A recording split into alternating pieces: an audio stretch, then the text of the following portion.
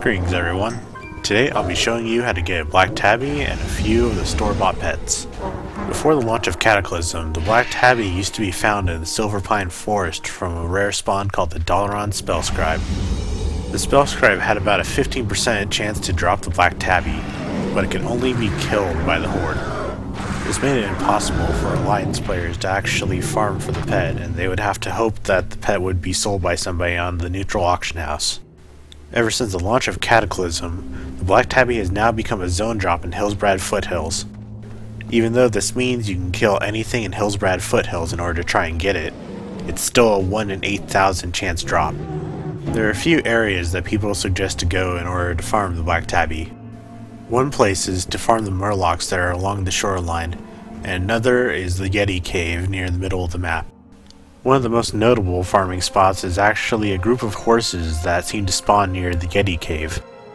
There are about 8 horses and supposedly once all of them are killed they instantly spawn again. This allows you to AoE the spawn point in order to kill many of the horses over and over until you hopefully get the Black Tabby. As for the other pets, if you head to Stormspire Netherstorm, you can find an NPC called Dealer Rashaad. This NPC only sells pets, and he sells them at varying prices. The pets that he has on sale are the Blue Dragonhawk, the Brown Rabbit, Mana Wyrmling, Red Moth, Siamese Cat, Senegal, Cockroach, and the Crimson Snake. The first five pets that I mentioned can only be bought at this NPC. On the other hand, the Crimson Snake, the Senegal, and the Cockroach can be bought at other NPCs around the world.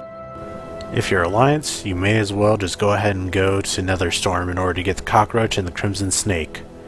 The reason for this is the two NPCs that sell those pets reside in Horde capital cities and would probably rather kill you instead of sell stuff to you. The NPC that sells the Senegal outside of Netherstorm is found in Booty Bay and he's friendly to both Alliance and Horde.